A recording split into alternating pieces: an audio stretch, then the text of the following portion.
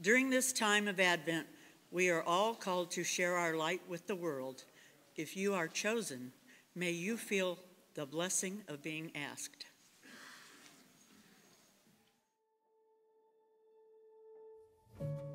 There was something I always wished for, but dared not speak it aloud. Yet, I couldn't stop believing that it might be right over the horizon. Like the first dawn of light, I felt it occasionally stir inside of me. I just didn't know where to find it. Peace. That was the wish. Peace on earth, peace in my soul, peace even when peace didn't make any sense in the world. Was it even possible? Peace that shook free all the burdens that clung so tightly to us, that gave assurance when the world rumbled with wars and rumors of wars. Could there be that kind of peace? Then, like all the best surprises do, that peace I dared not hope for too hard, dared not dream about too much, came in the very way I wished peace might come. Unexpectedly, in the restless cries of a baby against the odds. Peace to those unable to find it. Peace to those who weren't even searching for it. Peace, swaddled, offered, gifted. The Messiah.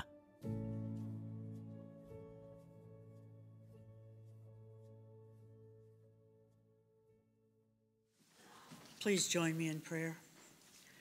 We have prepared our homes and our gifts, Lord, but we need help in preparing our spirits to receive your message of peace. Free us from the stresses and strains of this time and place your peace, which passes all our understanding, in our hearts. For we ask this in Jesus' name. Amen. Good morning, church. It is great to have you here on this second Sunday of Advent. And here today we light the candle of peace, and we hope that's exactly what you experienced today.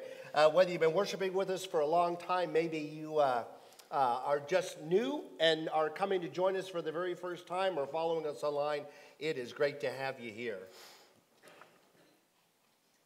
I would like to uh, invite any of the children to go to Sunday school. They can meet Miss Carol in the back wonderful things she has planned.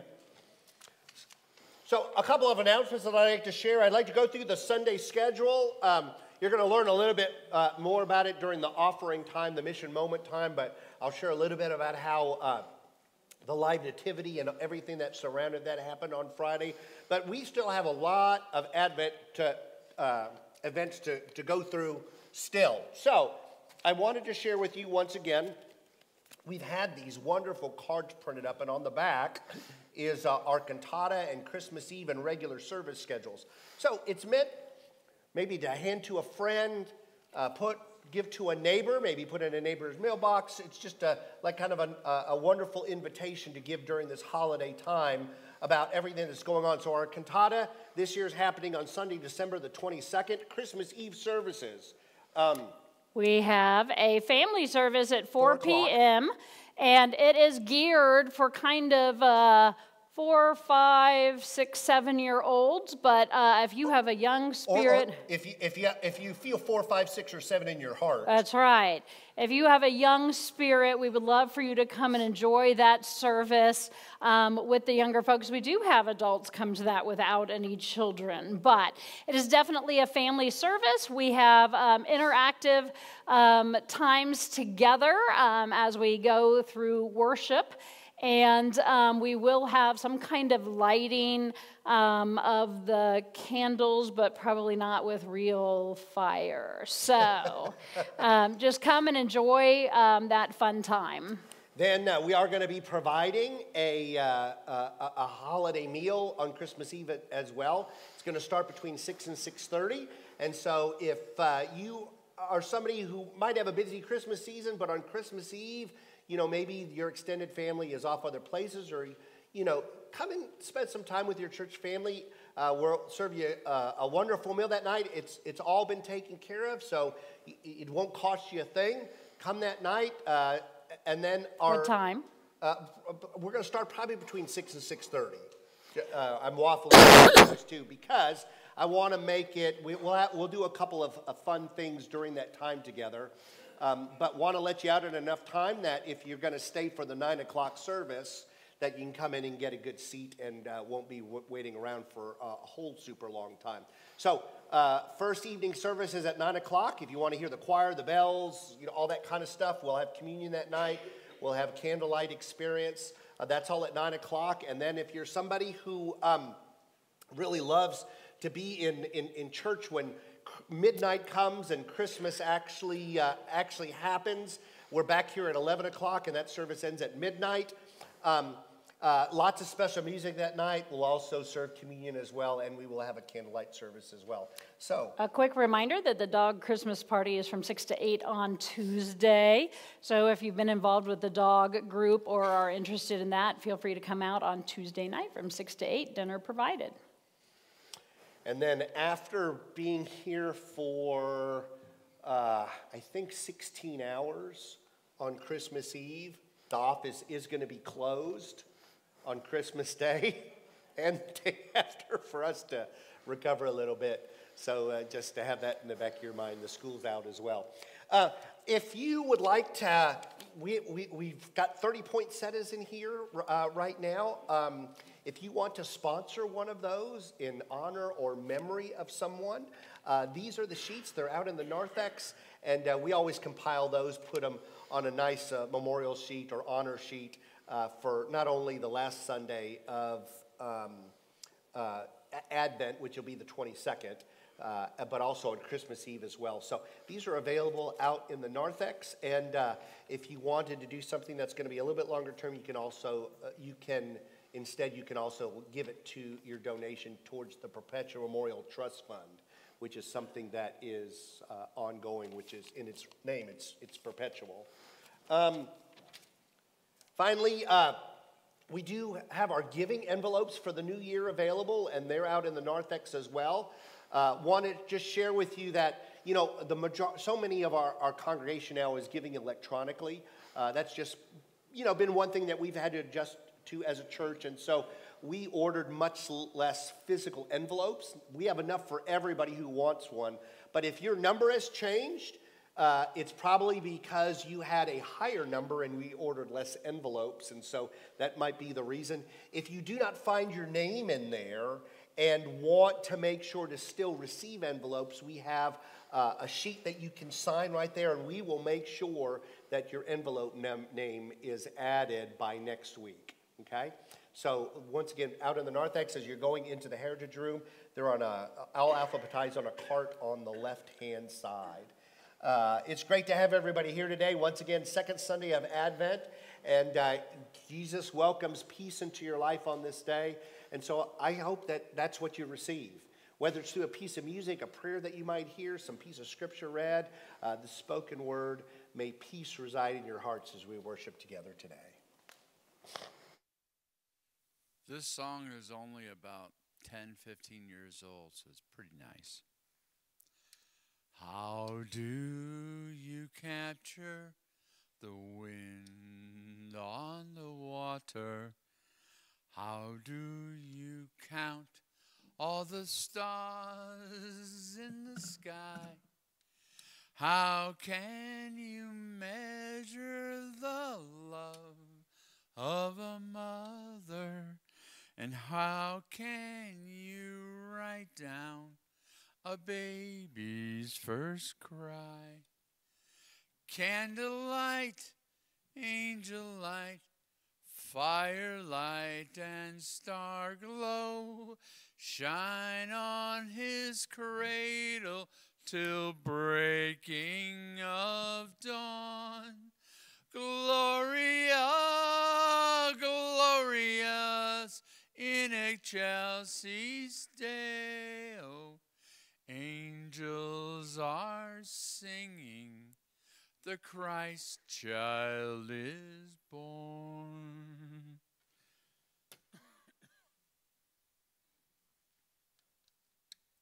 Shepherds and wise men will kneel and adore him. Seraphim round him his vigil will keep. Nations proclaim him their Lord and their Savior, but Mary will hold him and sing him to sleep. Candlelight, angel light, firelight, and star glow shine on his cradle till breaking of dawn. Gloria, gloria in excelsis Deo. Angels are singing, the Christ child is born.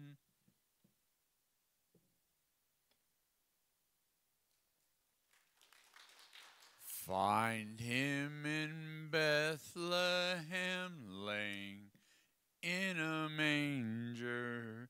Christ our Redeemer asleep in the hay. Godhead incarnate and hope of salvation. A child with his mother the first Christmas day. Candlelight, angel light, firelight, and star glow shine on his cradle till breaking of dawn. Gloria, gloria in excelsis Deo. Angels are singing, the Christ child is born. Angels are singing, the Christ child is born.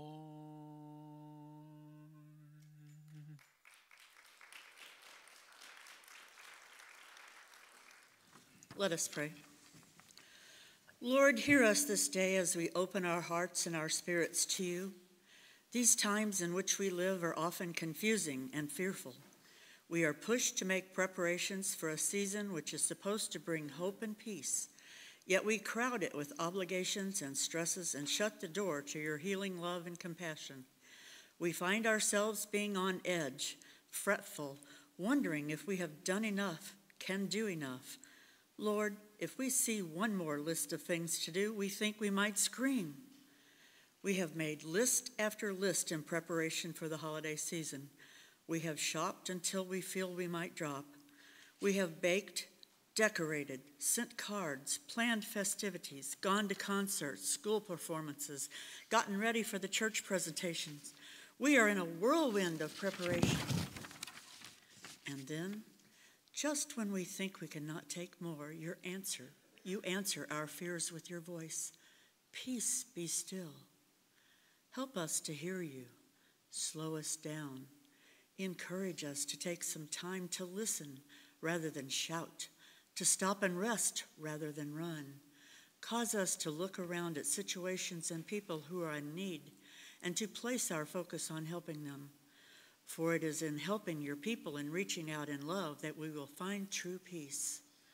What we have forgotten is to place your presence in our lives. You bring us hope and peace.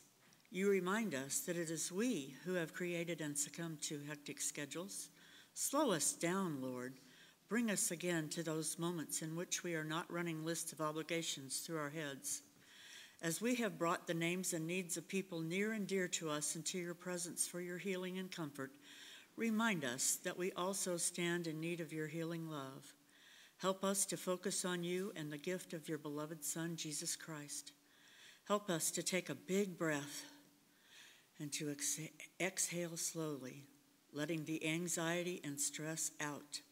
Fill our lives with your peace as we continue on this Advent journey.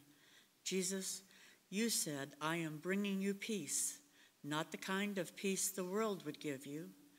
My peace I give to you now and forever. Be at peace. Know God's love is given for you. For we ask all this in Jesus' name, who taught us to pray by saying, Our Father, who art in heaven, hallowed be thy name. Thy kingdom come, thy will be done, on earth as it is in heaven.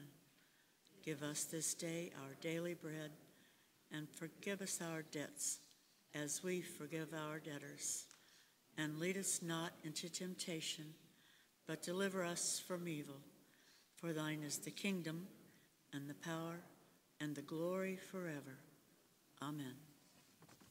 Our scripture today comes out of the Gospel of Luke, and we find ourselves in the very, very first chapter, near the end of the first chapter, but the first chapter nonetheless. And we haven't even gotten into the part of the story that uh, announces Jesus' birth. Here we hear a song sung by Zechariah, and it is announcing the birth of John. Now, remember, that's going to be Jesus' cousin, who will be John the Baptist, who will prepare the way for the Lord. And so, uh, hear these words starting in verse 68. Praise be to the Lord, the God of Israel, because he has come to his people and redeemed them. He has raised up a horn of salvation for us in the house of his servant David and he has said through his holy prophets of long ago salvation from our enemies and from the hand of all who hate us, to show mercy to our ancestors and to remember his holy covenant. The oath he swore to our father Abraham to rescue us from the hand of our enemies and to enable us to serve him without fear in holiness and righteousness before him all our days. And you, my child, will be called a prophet of the Most High, for you will go on before the Lord to prepare the way for him, to give his people the knowledge of salvation through the forgiveness of their sins. Because of the tender mercy of our God, by which the rising sun will come to us from heaven to shine on those living in darkness and in the shadow of death, to guide our feet in the path of peace. God's word for you, God's people.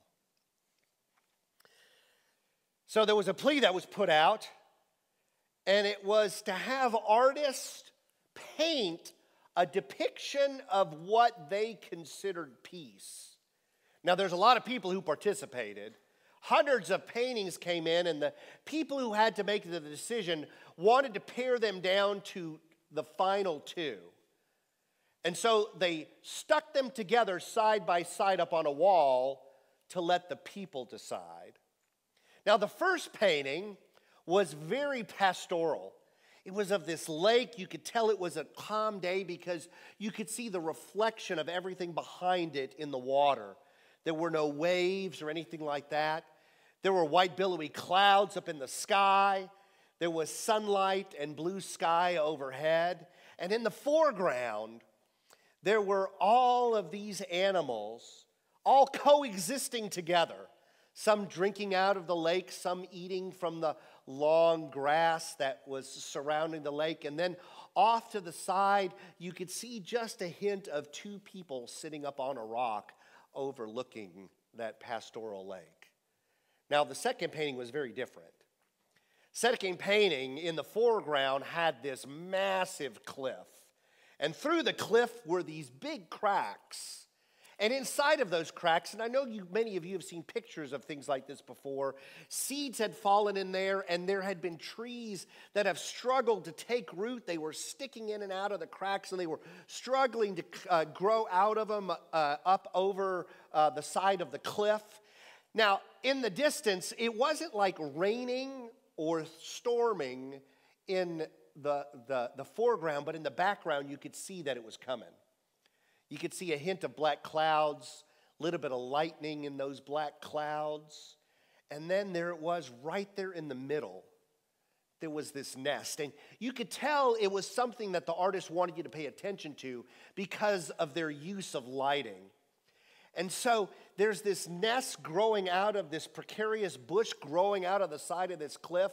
And you could tell that the bird that was resting in this nest, that there was something underneath maybe some chicks that had already been born that this bird was keeping warm, or maybe some eggs that were going to later hatch, but you could tell that there was some kind of contentment in the bird that was sitting in that nest. And having these two next to each other with the question, where do you find peace, really kind of hits you in the face. Because, you know, the first thing you'd want to just gravitate towards that first painting. But that would be short sightedness, at least as far as the kind of peace that God wants us to experience.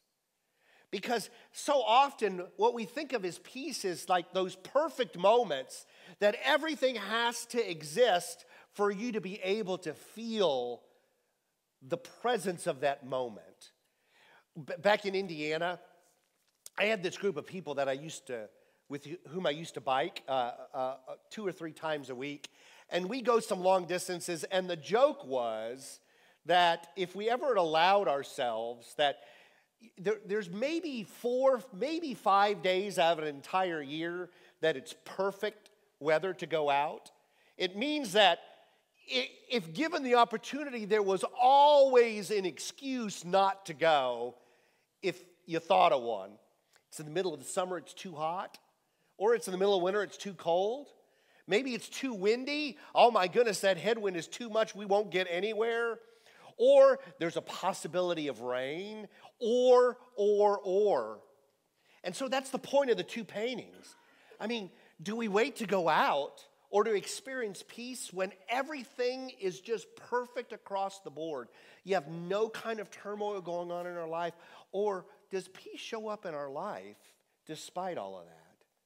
When the storm's on the horizon, when we're perched precariously out of the side of a cliff, and yet we find safety there. Right there in the most unimaginable place. See, here's, here's the point. You know, um, peace is meant to be felt despite our, sick, our, our, our circumstances. Those experience, those who really experience peace have love in their hearts even when turmoil surrounds them on all sides. Now, last week we lit the candle of hope. And I want you to know, you know, it goes hope, peace, joy, love. There is a reason that they are ordered that way, and I hope you come out today at least why those first two candles are ordered the way they are, because you can't have peace unless you start with some hope to begin with. So last week we lit the candle of lo- hope, our, and it kind of started our, out our anticipation preaching series. Now, there is a lot about the word hope and anticipation, and if you take it a step part farther, expectation, which are all very similar to one another. So, hope is really something that's more like a wish.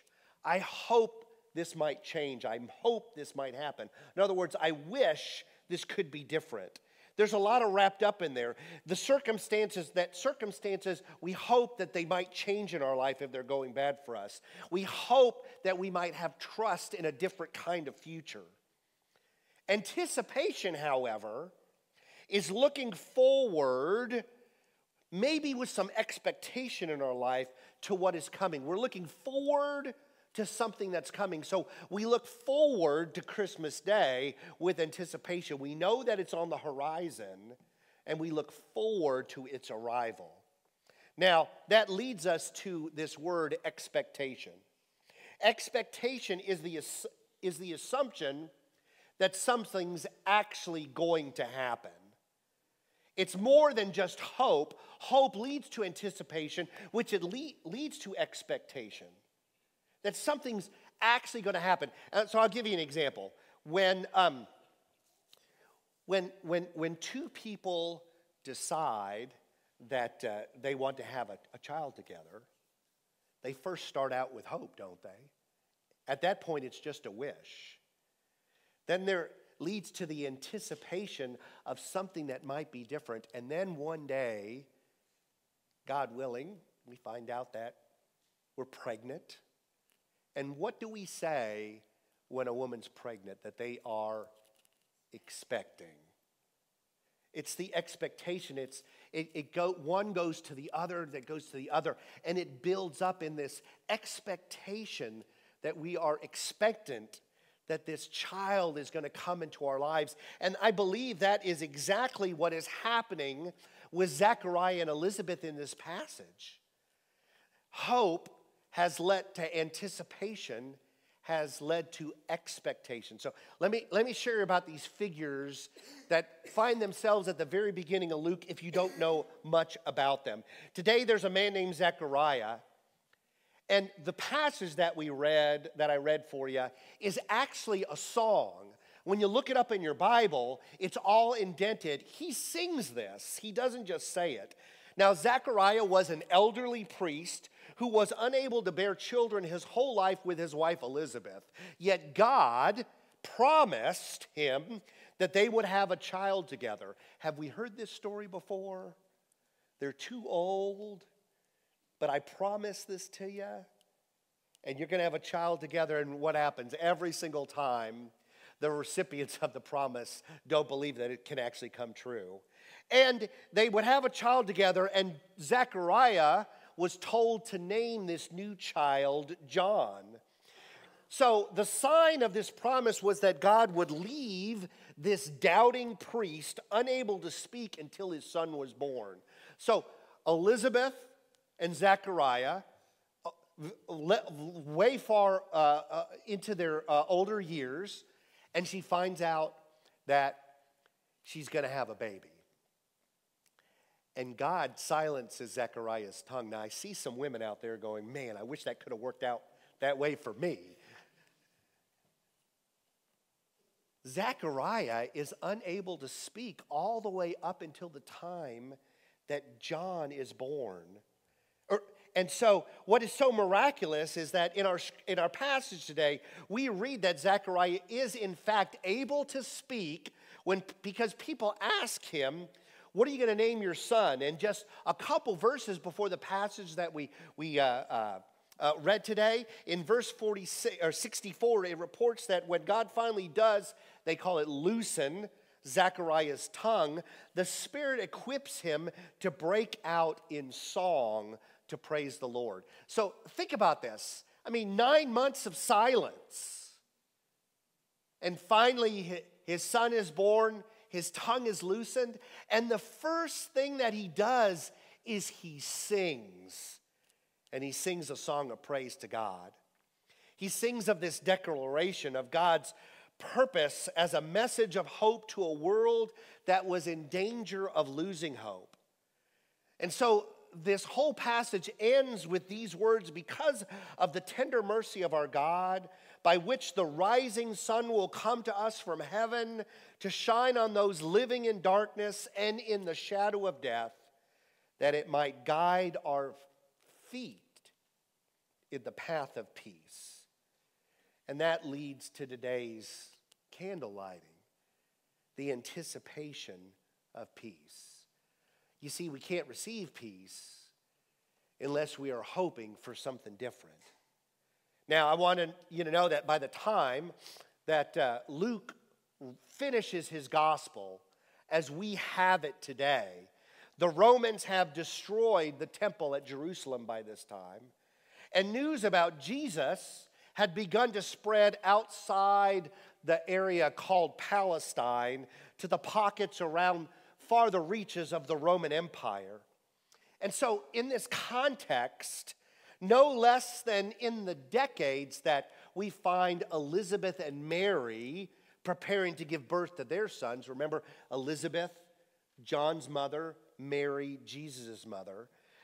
That the message of God's peace comes into a world that is much more familiar with conflict, much more familiar with warfare.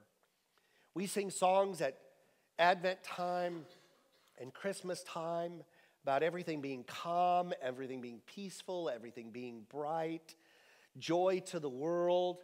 But that's not the world of Zechariah and Elizabeth, and it certainly wasn't the world of Mary. Things weren't calm and bright, they were chaotic. which is why Jesus is born in the first place. If everything would have been perfect, there would have been no reason for the event to happen in the first place. So by this time, the word of Jesus has spread to the farther reaches of the Roman Empire. And even when Jesus and John are preparing to be born, the world around them is a chaotic one. And so, this word of peace that Zechariah speaks, God's peace stands in stark contrast to anything that the Caesars of Rome could have offered at the time, during whose reign John and Jesus are both born into. They both live into this uh, state of, of war and conflict. And remember, they both meet violent ends. John the Baptist executed by beheading, and Jesus crucified on a cross. Now, I want you to know if, if you want to really find some good verses about peace for your life, Luke's the place to go to because if you take all of the Gospels and put them all, to, all the other three together, so that'd be Matthew, Mark, and John, if you put them all together, they would not all together have the word peace in them as many times as Luke does. And in Luke, it really is kind of bookends. Remember, we find ourselves at the very, very beginning of the story here in chapter one. It's God's message of peace is like bookends found at both the beginning and the end of Luke's gospel.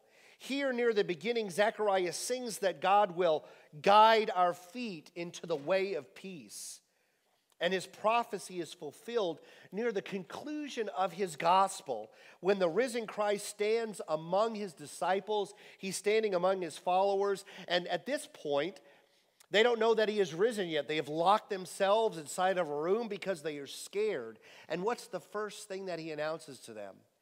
Peace be with you. Peace be with you. Yesterday was Pearl Harbor Day happened on December the 7th, 1941.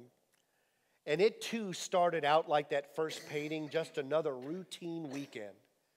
The aircraft carriers were all at dockside that day in Hawaii, and the crews were enjoying the day with rest and relaxation. On that day, the skies were clear, the sun was shining, and the weather was quite beautiful. It was a picture perfect moment of peace. But then something happened that brought disaster into the lives of many. Within a couple hours, 3,077 men would be killed or missing in action. The United States would lose eight ba- huge battleships, six major airfields would be destroyed, along with most of their aircraft. It all started around 7 a.m. that morning. And the story goes that uh, offshore on an island, there were two people watching the radar that saw all of a sudden all of these blips on the radar. And so they did what they were supposed to and they told the lieutenant that was the next in charge and it was just the three there that day about what they were saw and he wrote it off as something that you didn't need to worry about. And so he didn't report it. It didn't go any further. Now in those 50 minutes there would have been time to prepare for the arrival of all of those Japanese airships. There would have been time to get all of those collateral um, uh, casualties in a place of safety, in a, a, a, a, place that would have saved them on that moment.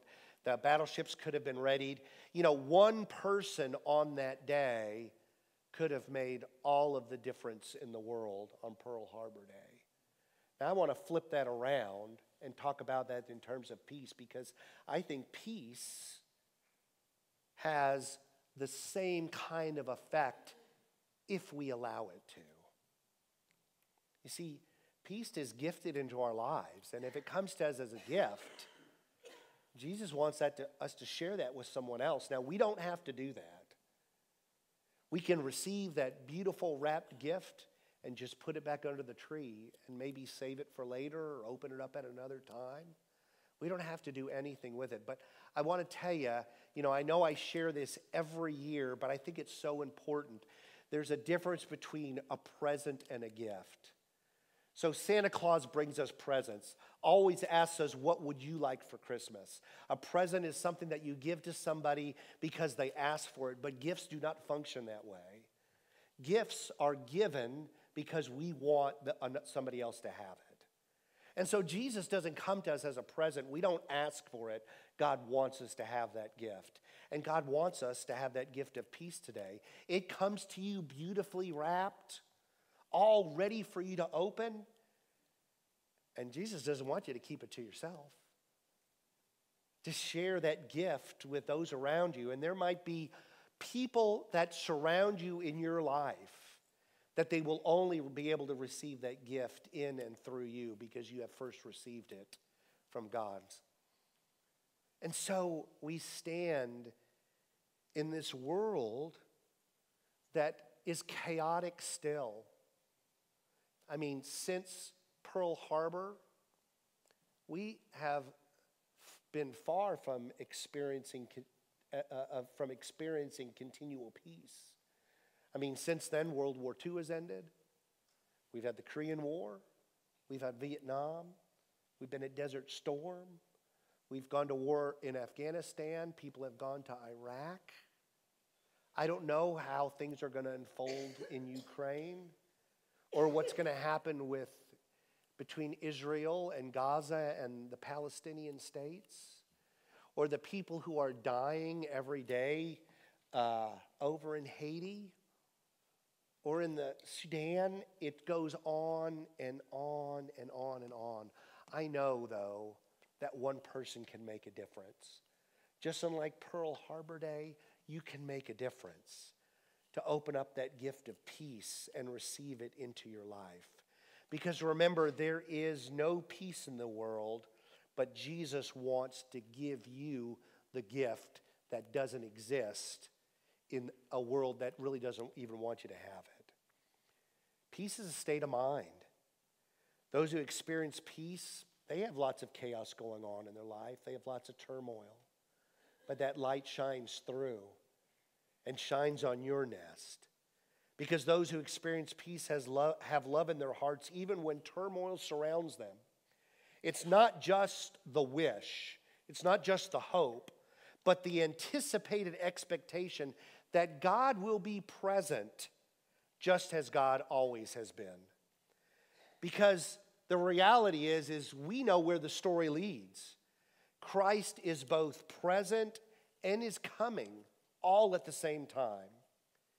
In the end, Zechariah's song is not simply a way to announce the birth of a son that he didn't think was possible, his son John the Baptist, but rather to proclaim God's faithfulness and God's peace.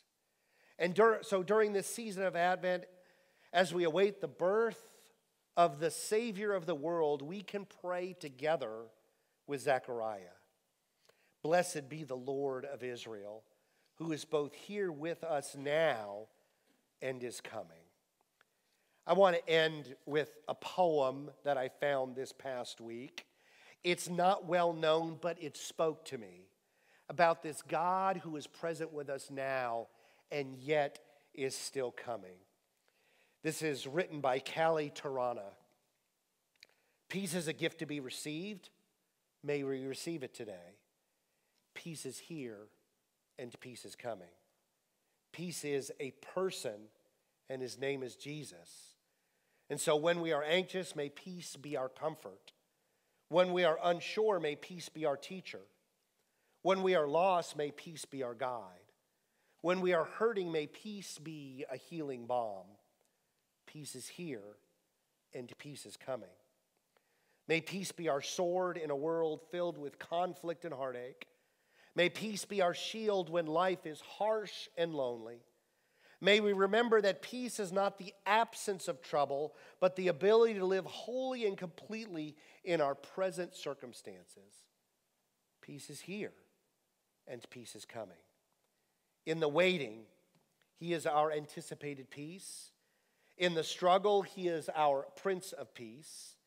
In the incomprehensible, He is our peace that passes all understanding. In the injustice, He is our covenant of peace. In the longing, He is our perfect peace. May we know Jesus, our only source of peace. Peace is here, and peace is coming. Amen.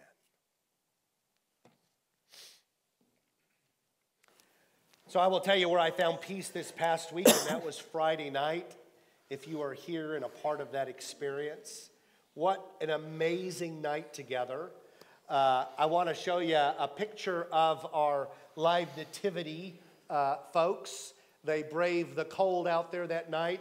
And uh, you know what? I didn't count, I stopped counting people or cars. All I know is that for more than an hour, maybe close to an hour and a half, every parking spot in our parking lot, both in the back, in the side, on the side uh, behind the church here, and people were parking in the office park next door. Every spot was filled. And to my knowledge, there was not an unkind word the whole night. It was like this perfect moment that we were able to create for families right here in our own community that spoke peace into their life. Now, I'm going to tell you, I'm going to switch to the next picture. I took this myself because this is where I found peace. This is, this is one of the three people that brought the, uh, the, the, animals to the petting zoo. So, this little baby cow, this is a, a Scottish Highland cow. She's two weeks old. So, she's wearing her own hoodie and has a blanket over her. They, they sleep with her in the house right now. um, and so uh, she has her all snuggled up, and uh, the amount of young kids that came over and just wanted to pet that baby. There's something about new life that just calls us to, to act and be different. And so um, Erica's going to share, because I never got a chance the whole night to come inside. So tell us about what was going on in here. Well, we want to just give a huge thanks to all of the volunteers. um, I know that we got, we had 10 tables of crafts, and there were about 100 to 125 crafts at each table, and some even ran out around 730. So uh, we had upped our numbers from last year, and we'll up them again next year. Um, but between the people actually in the nativity, helping to run the nativity, the um, looking after the animals, um, all of those that donated cookies and crafts and time and energy and were making hot cocoa and keeping cookies and cocoa flowing and helping with Santa. We definitely had over um, 40 volunteers here that night as well. And so we couldn't do it. It is definitely a church family event. And so thank you to everyone who jumped in. If you didn't get a chance this year, there will always be next year. But there was just movement in the building the entire evening.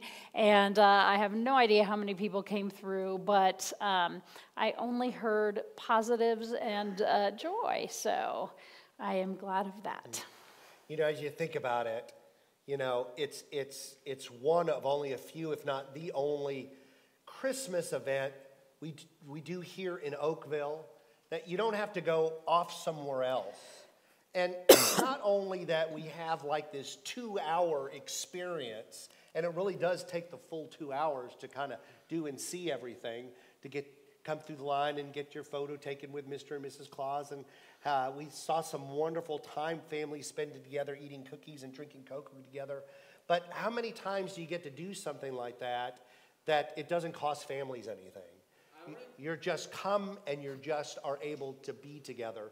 And it's because of the mission that we offer here. And so, once again, a big thanks. As you think about how you'd like to um, just support the mission and ministry here at St. Paul's, uh, we always have offering plates when you leave. If you are an electronic giver, uh, you can go to sp4u.org or you can mail in a donation uh, to the address that's on the screens. And I'm going to invite Marcia to come up, and she is going to bless our offering for this second Sunday of Advent.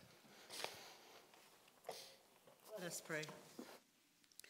God of all joy, we give thanks each time we remember your gifts in our lives. Our gratitude extends to the ways we can use our gifts of time, talent, and treasures. May your boundless wisdom compel us to use our energies in ways that will share the most love in our world. Amen. Here we go. We have all kinds of things ready for you to be picked up. If you haven't picked up your wreath, Uh, we have um, Charlie Brown trees. We do. We have about 10 or 12 extra. Um, a couple people mentioned, oh, those are so cute. I wish I had ordered one. Well, we have a few extra if you would still like one. If not, come and pick yours up along with your Cardinals calendars. Don't forget they're in the gym to be picked up right next to each other. And also, uh, we still have the Christmas cards out. Uh, if you'd like to peruse that table on the way out, if you're still sending like uh, hard, you know, not, not electronic, not electronic Christmas cards. So all of that uh, sales of that, they're um, 100% go to our ministry over at the Veterans Hospital. And so you can go and peruse that as well. Um, we have a SALT event right after church. If you are here or have one that you're bringing for the SALT event, um, we will just be meeting in the gym in a couple of minutes. I need just a couple of minutes usually to get my act together, and we'll head out to pieces. If you were visiting with us today, we have these envelopes in the pews in front of you. Um, no need to put anything inside. We're just glad that you were worshiping with us. We would love to have you let us know that you were here, and you can fill that out and put that in the offering plate on the way out. You know, there was actually a survey that was taken, and uh, most people, if given the, you know, the wish for something in their life, they actually answered peace. They wish that they had peace in their life. So I want to just tell you that that gift is waiting for you to unwrap today. It's free, it doesn't cost anything, and it comes from the one who loves you above all others. May you unwrap it, share that gift with your own spirit, and then let it spread to others. So may God bless you and keep you. May God's face shine upon you, be gracious to you. And may God lift up God's kindness and favor upon you and give you peace. And the mission of St. Paul's is to be a place of worship, worship refuge, refuge and, and outreach. Have a great week.